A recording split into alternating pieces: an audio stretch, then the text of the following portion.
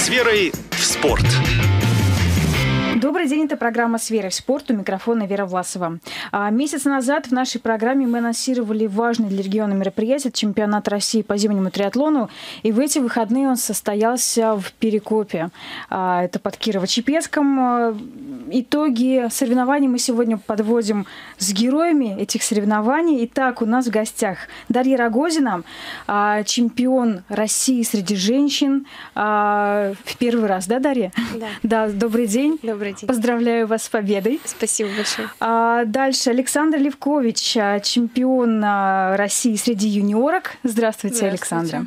А Павел Андреев уже был в нашей студии. Про него мы уже много чего знаем. Шестикратный чемпион мира, шестикратный чемпион Европы теперь уже. С чем мы тоже поздравляем. И по России сейчас. День добрый, да. Очень Добрый приятно. И чемпионатов России я не считал, сколько выиграл. Но Ну, в общем, еще одна медаль в копилке у Павла теперь есть. И Андрей Рудин, исполнительный директор Федерации триатлона в Кировской области и организатор соревнований. Добрый день, Андрей. Здравствуйте, Вера. Тогда, Андрей, первый вопрос а, к вам и будет адресован. Расскажите, какие задачи ставили а, перед собой, а, чего ждали от этих соревнований, что в итоге получили? Ну, мы впервые в Кировской области проводили чемпионат России по зимнему триатлону, поэтому нашей основной задачей было провести соревнования ну, на должном высоком уровне, да, стремимся на всех соревнованиях э, уровень держать достойный. Вот. Э, Я думаю, что нам все удалось. Соревнования прошли достаточно успешно. Отличная была погода, отличная трасса. Хорошо все подготовили. Сотрудники лыжно-биатлонного комплекса «Пер- «Перекоп» нам очень помогли в этом. Да, там работают э, профессионалы своего дела, да, поэтому трасса была вне всяких похвал. Ну, трасса и стадион, да, все, все, все замечательно получилось. Мы со своей стороны э, пытались организовать э, этот двухдневный праздник спорта, да, так чтобы и спортсменам было комфортно, И и, и немногочисленным зрителям, да, к сожалению. Но об этом еще потом Да. скажем. Вот. Ну, надеюсь, что у нас все получилось. По крайней мере, первые отзывы, которые мы получили, да, они положительные. Всем, всем, всем понравилось, да, все довольны. Андрей, расскажи, пожалуйста, как вообще удалось привести чемпионат э, в Кировскую область?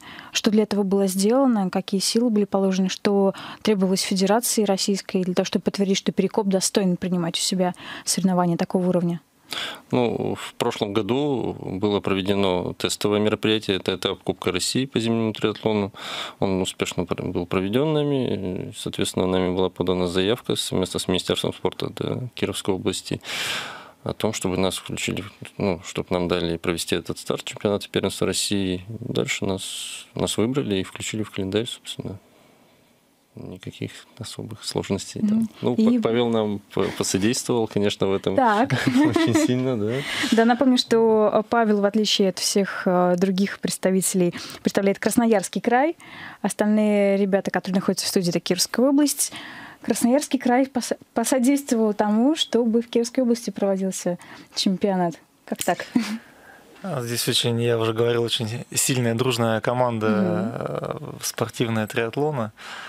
Вот, и очень приятно быть частью этой команды, команды и э, помогать, чем, чем возможно. На самом деле, э, Андрей сказал так просто, ну, нам дали э, в Кировской области, мы провели. На самом, На самом деле не просто. Заявок было очень много, да, А и, сколько? скажем так. Ну, это как минимум э, три претендента были жестких, Основные. да, основных. И в последний момент буквально, то есть кача- качели были, то дадим, то не дадим. И в последний момент все-таки, скажем, что вырвали чемпионат России к нам в Перекоп, сюда, в А с Кировскую кем мы конкурировали? А, ну, жесткая борьба была, конечно, это с Татарстаном. Мгм. Они там предложили свои хорошие условия, но у нас была договоренность уже заранее, что Перекоп провел достойно в прошлом году этап Кубка России, повторю, Мгм. повторюсь. А Татарстан немножко в организации проиграл. Но в этом году мы не были в Татарстане, я не могу судить, как там проводили первенство России до 23 лет. Мгм. Там было первенство, они провели, но мы не были. Не могу судить Мгм. организацию. То есть вот именно то, о чем, Павел, вы сказали, именно организационная работа, именно командная работа а, в Кировской области оказалась сильнее. А, да, я скажу так, профессиональней. Мгм. Ну, за плечами у нашей федерации это далеко не первое событие. А, и зимой, и летом, не и только весной. в триатлоне, и да, не только еще. в триатлоне, да, да, да, да. Вот, поэтому, ну, о календаре грядущих событий мы расскажем в самом конце программы, да, Андрей? Да. Вот, а пока хочется еще девушек прекрасных подключить. А вы в Перекопе тренируетесь, насколько я понимаю. И вообще, как вы а, в триатлон-то пришли? Расскажите, пожалуйста. Да, давайте, Дарья, с вас начнем. А, тренируемся мы не в Перекопе, тренируемся в поселке Верхошижемье. Угу. Там Вы прекрасные обе условия. оттуда, Да. да? Угу. Прекрасные условия для тренировок, все, что нужно и для триатлона, для лыжных гонок, все есть. Ну, триатлоном я занимаюсь только третий год. Я вообще Совсем недавно. начала заниматься лыжными гонками с 10 лет. И познакомившись с Павлом Андреевым, он затянул меня, можно сказать, да, в свою компанию триатлонную. Ну, мне нравится, конечно, заниматься триатлоном. Да, это А что вам в триатлоне, что, что привлекает? Почему именно триатлон? То есть э, с лыж у- ушли именно туда. Нет, я не прекращала заниматься лыжами. Я Мгм. бегаю лыжные гонки, также Мгм. участвую в соревнованиях разного уровня. Триатлон, ну, как новая дисциплина для меня, как новый путь к развитию. Мгм. Да, в прошлом году вы участвовали в европейском старте. Да, расскажите, пожалуйста, об этом соревновании. Да, это был для меня первый мой старт в зимнем триатлоне. Спустя Ну, два года тренировок интенсивных, да, я так понимаю. спустя год тренировок. Да. И как он прошел для вас? Но впечатления, конечно, были не самые приятные. Мгм. Уровень подготовки был не слишком высокий. То есть приехали, посмотрели, на что способны. Да. И к чему нужно стремиться. И в этом году вот уже одержали победу среди женщин, Женщин. да, в- э, среди всех россиянок, да, можно так сказать, Да, по ну, зимнему триатлону, Да, конкуренция, конечно, была не такая сильная, как в Европе. как в Европе, да. А с чем вы это связываете? Неужели э, в России не так развит триатлон или, может быть, меньше? Да, пока что это не самый развитый вид спорта. Мгм. Но я надеюсь, что все к этому идет. Ну, я посмотрела списки, среди женщин на самом деле гораздо, гораздо меньше участниц, чем э, по сравнению с, му- с мужскими стартами. Да, мужчин значительно больше. Павел, прокомментируйте, пожалуйста. А, на самом деле очень тяжелая дисциплина зимний триатлон, мы говорим о нем, и дистанции выровнены а, в группах. То есть что проходит женщина-элита, что женщина-мужчины. Женщина. Что мужчина? Что мужчина-элита, что женщина-элита. Одинаковая дистанция абсолютно. А, Это очень сложно, и не каждая девушка, не каждая женщина может пройти это. Поэтому с этим все связано, что вид спорта тяжелый, и никаких сни- снисхождений нету в женском зачете. Но Мгм. я думаю, все-таки к нам прибавится еще с других регионов, кто не раскусил именно же- э, в женском зачете. Мгм. Э, Интересуется много перспективных на будущее вот спортсменок. Я надеюсь, что в следующем, в следующем году уже в России протокол попол- пополнится новыми именами и будет гораздо больше участниц. Вот заговорили мы про географию участников. Откуда приезжали? Ну, близлежащие регионы, в первую очередь, были представлены, да? Ну, то есть э, регионы, где есть снег ст- стабильно, Мгм. да, в течение полугода, так же, как и у нас. То есть север. Ну, Республика Чувашия, Пермский край, Саратовская область, э, Ярославская область, Московская область. Да, Карелия, Карелия. с Архангельска были ребята. С Башкортостана были, с Татарстана, с Удмуртии. Вот, да, здесь вот все, все по Волжье практически представлено. А сколько всего участников было? Всего у нас 120 участников было. 120. Да. Для соревнований подобного рода это Ну, это сам- самый крупный был чемпионат России да, за всю историю. То есть тенденция к увеличению количества Да. участников, она есть. Да, каждый год, да, прибавляется Это здорово. Ну и Киров здесь очень географически удобно находится. Да, поэтому следует полагать, что дальше будет больше, правильно? Да, будем надеяться, конечно. Mm-hmm. Переходим к юниоркам, к юниорам, юниоркам. Да, у нас еще Александр Левкович. Э, добрый день еще раз, Александра. Расскажите, что для вас был этот старт, что для вас э, значил этот чемпионат минувший? А, ну, когда вы вообще занимаетесь триатлоном? Э, я занимаюсь примерно пять лет, но более серьезно это также последние два года. Просто не так часто принимала участие в триатлоне. Этот старт э, был важен выполнением норматива мастер спорта. Угу. Чего вы достигли? Да, нужно было занять первое место. Ну и также после чемпионата мира нужно было не сдавать угу. обороты, так сказать. Так, то есть чемпионат мира тоже вы победили? Да, в покорили в юниорках в том числе.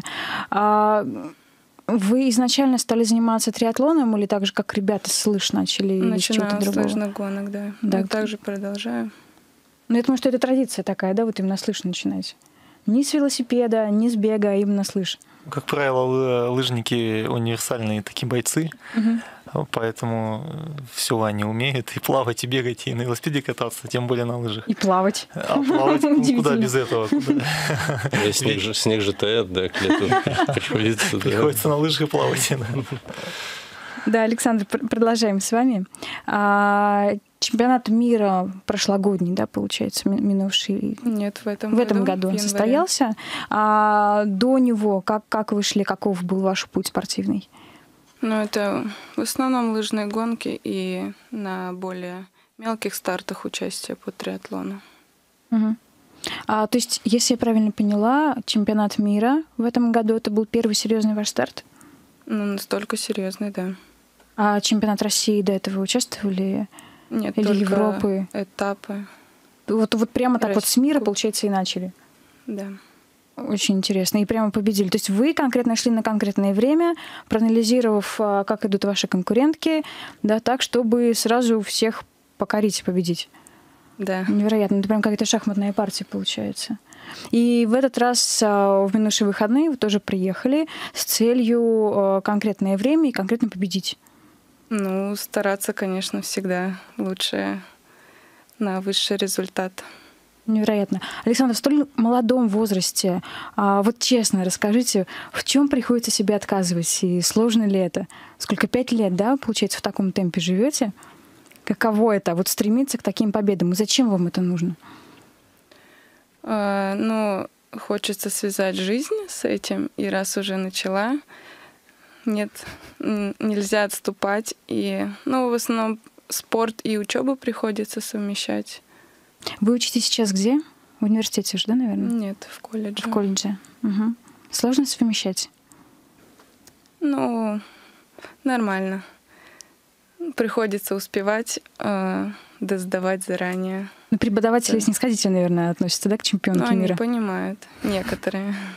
Некоторые, некоторые нет. Ну, всегда, наверное, так было, так будет. Идем дальше. Вот поговорили мы уже о количестве. А у вас, кстати, конкуренция среди юниоров, э, юниорок э, серьезная была? Как вы оцениваете? Да. Участник было, участниц побольше было, чем у женщин, да, в юниорках. Побольше. Да. То есть тоже это можно сделать вывод о росте популярности э, так, этого вида спорта? Ну, отчасти, да, конечно. Если посмотреть вообще российский спорт, то есть тенденция такая, что женщин во многих видах, да, их все меньше и меньше, да. Мужчин больше значительно выступает. Угу. Да, ну давайте перейдем. А, вот очень интересная тема, мне лично интересная, о э, выступлениях любителей на соревнованиях. Да расскажите, как, как это проходило, сколько было участников, на ну, что они были заряжены? Ну, в рамках соревнований, да, проходило э, первенство России среди любителей и Swiftman Winter Triathlon, да, наш кировский старт. Вот, э, было 50 участников на старте. Угу. Дистанция у них была покороче, чем у элитных спортсменов. То есть 3 э, километра бега, 5 вело и 5 лыж. Ну, хорошие результаты ребята показали, несмотря на то, что трасса достаточно сложная, да, все успешно закончили, преодолели дистанцию. были достойные очень результаты, и ребята могли бы даже по элите выступить некоторые. Серьезно? Ну да. Это какие регионы так отличились? Наши кировские. Кировская да. область. Конечно, воспитали. Ну, С, Пер- с Перми э, ребята тоже пробежали неплохо. Ну, там бывшие спортсмены, да, элитные. В Перми очень сильная школа. они- Там первый, первый чемпион России по зимнему триатлону Андрей Мишанин. Он выступал, э, как сейчас Ну, Андрей вот он сказал, как раз занял второе место по любителям, да. он выступал да, в любительской группе, группе и был только второй. А выиграли кировские ребята. Молодцы. А кто победил? По любителям Александр Благорожев выиграл. Мгм. А женщины? А по женщинам там саратовская девочка. Саратовская. То есть все-таки здесь Киров еще пока немножечко не дотягивает. Есть к чему стремиться. Среди женщин? А, э, Да. Среди женщин-любителей. Любителей, да. да. Поэтому надо в следующий раз как-то команду нам сильнее набрать любительскую. Андрей, еще анонсировано было, что э, хорошая будет культурная программа, извлекательная, да, и, как ты говорил, это праздник спорта. А в чем заключалось, что можно было увидеть тем, кто не сумел попасть так или иначе в Перекоп в эти выходные? Нет, ну, была развлекательная программа для детей, да, то есть были ребята, которые работали с детьми, ну, то есть э, конкурсы различные, занимательные игры, еще что-то там, вот в таком На ключе. протяжении, Ну, на протяжении обоих всех дней. соревнований, да. Мгм.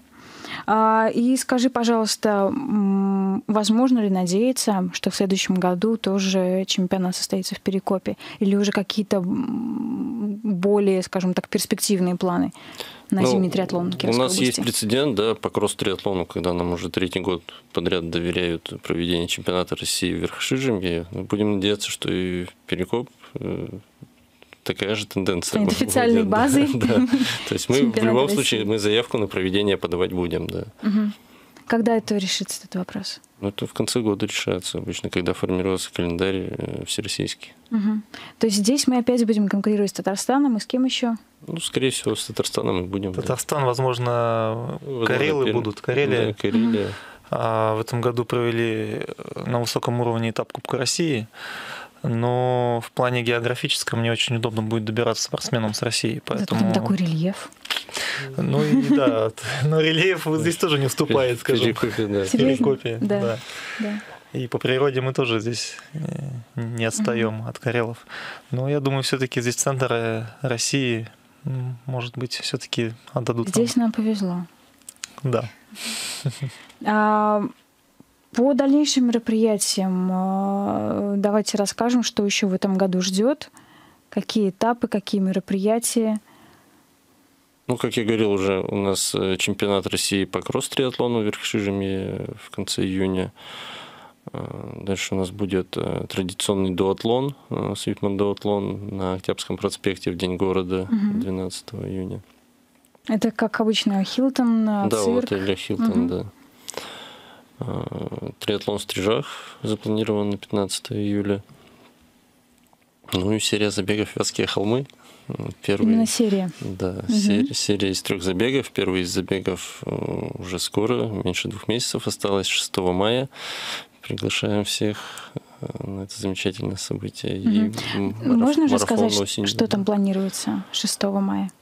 6 мая полумарафон Вятские холмы. Традиционно 5 дистанций. 300-600 метров для детей, 3 километра для всех желающих, э, 10 километров для любителей и 21 километр для самых выносливых. Сколько человек планируется в этом году? Но если в прошлом году у нас было 2000 регистраций, то мы хотим... Планировать мы не можем, да, Мгм. за людей мы не можем зарегистрироваться, но нам бы хотелось больше, конечно. Ну, две с половиной. Учитывая, Четыре, что в ну, Ярославле мы хотели в 4 Казани... тысячи на старт. Хотели? Хотели бы, Так что вроде бы пока еще ничего не мешает. Город у нас, я думаю, что 4000 бегунов вполне можно. В гостиницах места есть? Да, в гостиницах есть место. Что еще будет э, летом? Что с Вятскими холмами связано будет? Забег? Летом мы планировали э, организовать э, ночной забег впервые в нашем городе. То есть 10-километровая дистанция одним кругом по городу э, вечернее время суток. Где будет проходить? Ну, по центральным улицам города, скажем так. Вот. И осенью э, марафон, полная марафонская дистанция Вятские холмы. Мгм. То есть исключительно марафон, без Ну, мараф- всяких Нет, там... марафон и дополнительно будут, конечно, дистанции. 3-10? Да, да, небольшие дистанции тоже будут. Мгм. А, вообще, как, как, какое ощущение у вас, э, чемпионы наши от мероприятия? Как вам показалось дальнейшие ваши планы? Давайте вот по очереди с Александра начнем, с самого юного участника. Организация соревнований первенство России понравилось, трассы были подготовлены тоже хорошо. Дальнейшие соревнования это в Березняках этап Финал, финал Кубка мира, Кубка России. Кубка да. России, да. И марафон в поселке Верхошижемье, лыжный марафон. Угу. И там тоже на победу. Только первое место. А. Кировская школа так привыкла будем работать, стараться. никак иначе. Как получится. Ну, будем стараться. Угу. Дарья, у вас какие планы? Ну, как я уже говорила, что я принимаю участие в стартах по лыжным гонкам. У меня предшествует чемпионат России в Сыктывкаре. Ну и вообще дальнейшие планы — это, конечно же, подготовка к последующим стартам. Как в триатлоне, так и в лыжных гонках. Угу. Павел? Ну, основные мои старты э, зимнего сезона закончены. Угу. Сейчас отдых? Сейчас э, я хочу все-таки э, немножечко под, подготовиться и, возможно, выступить в Верхошижемском марафоне 31 марта, 1 апреля. А, не знаю, как получится по, по планам. Ну, все-таки планирую, а там будет, будет видно. Ну, марафонские дистанции вы уже, я так понимаю, что покоряли. Да, бегаю длинные дистанции, нравится, все получается. Но если получится со временем, то обязательно приму участие в Верхоширмском марафоне в этом mm-hmm. году. А так, следующий сезон начинается с лета. Первый основной старт это будет э, кросс-триатлон чемпионат России в поселке Верхошижме, опять же. Mm-hmm. Вот, нацелены здесь. И дальше выезжаем в Европу, и летние старты а, будем выступать как чемпионаты мира, чемпионат Европы, этап Кубка мира по кросс-триатлону. Что касаемо организации в Перекопе, ну, уже не буду повторять, э, много лестных слов уже сказано.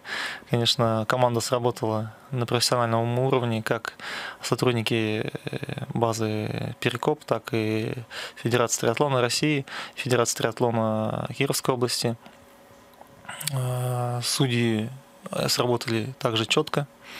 А, множество судей было из, из разных регионов. Много судьев, все было четко, все под контролем. Сам, скажем так, если касаясь меня, получил штраф так называемый у нас. Да что? 15 секунд на гонке. Так, где же это, как же это случилось? Там это в правилах соревнованиях, там у нас, если нарушаешь э, ну, определенные правила в транзитной зоне, либо uh-huh. по дистанции, мы получаем э, штраф 15 секунд, где нужно отстоять в пенальти-бокс так называемым. И вот мне пришлось отстоять эти 15 секунд за нарушение в транзитной зоне. Так, Вам... для тех, кто не, поним... Э, не знает, транзитная зона там, где вы меняете Где меняем об... а, да, инвентарь. Да. Ага, и что же там случилось? После бега у нас есть э, боксы, так называемые, mm-hmm. контейнеры. Мы должны после бега шиповки либо обувь э, беговую скинуть в свой бокс. А-а-а. Я просто кинул обувь в соседний бокс. Судья, конечно, заметил. Ну, судьи международные у нас категории, все российские категории, поэтому они все смотрели, все следили. И тут 15 секунд я получил, так что. Ну, это не помешало, при том победить. Э, ну, было все под контролем.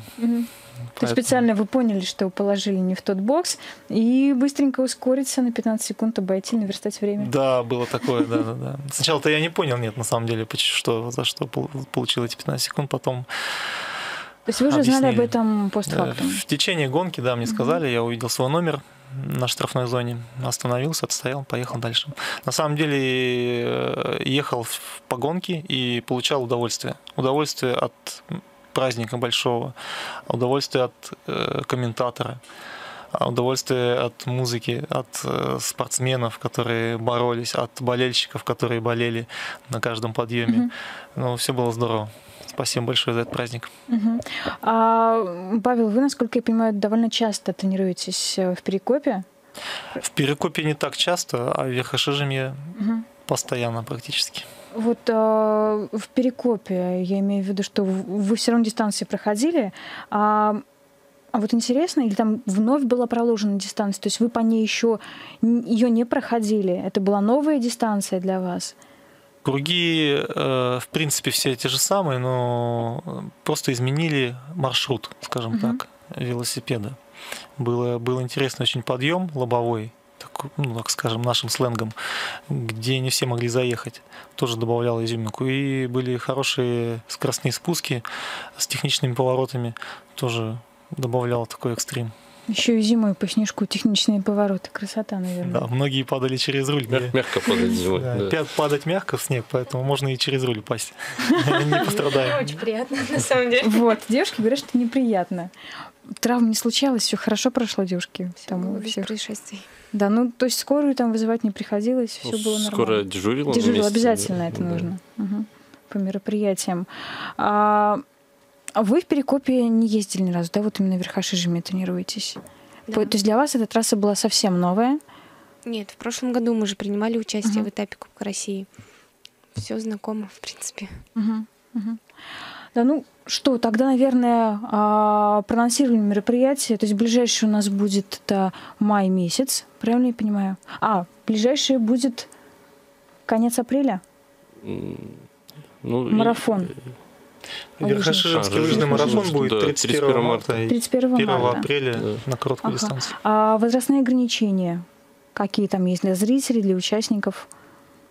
Ограничений практически нет. Там, ну, да. то есть мы можем сказать, что 6 плюс. Ну, да, возрастные для зрителей для точно, зрителей. Да, там будет э, такой бэби-забег какой-то. Ми- да. Мини-забег, да, да будет. Для, для маленьких для детей? Да, для детей. 300-400 метров будет бежать. Как здорово. А еще раз числа. 31 марта. 31 марта. Mm. Регистри... Регистрироваться можно где и узнать все мероприятия? Регистрироваться можно на сайте swiftman.team, mm-hmm. да, либо на сайте ski43, да, то есть там ссылка на регистрацию тоже есть. То есть и взрослые, и дети, и любители да. тоже могут принять участие. Да, ну, это в первую очередь любительский марафон, угу. конечно. Да. То есть большинство участников это спортсмены-любители. Угу. А дальше у нас будет э, в мае Вятские холмы. В мае Вятские холмы. А в июне там... уже начинаются летние триатлоны, дуатлоны. Да, по Вятским холмам можем сказать, что самые маленькие принимают участие. Да, то есть у нас да, и трехлеточки бежали, и ну, четырехлеточки. С четырех лет, да. Да, но там. официально мы заявляем, что 6 плюс тоже мероприятие. Mm. Да, возрастное ограничение имеет, собственно, как и все остальные мероприятия, которые сегодня были озвучены. Mm. Угу. Вот, ну что, уважаемые чемпионы и организаторы, спасибо вам большое за эфир. А, сегодня мы говорили о чемпионате России по зимнему триатлону, который состоялся в минувшие выходные в Перекопе. У нас сегодня в студии была Дарья Рогозина, чемпионка среди женщин а, чемпионата по зимнему триатлону в России, а Александра Левкович, чемпионка среди юниорок, а Павел Андреев, шестикратный чемпион мира, шестикратный чемпион Европы и безграничное количество кратный чемпион России по зимнему триатлону. И Андрей Родин, исполнительный директор Федерации триатлона в Кировской области. Спасибо вам большое, новых вам побед. А, удачи. Спасибо. Спасибо. Спасибо, Спасибо вам. До свидания. До свидания. До свидания. С верой в спорт.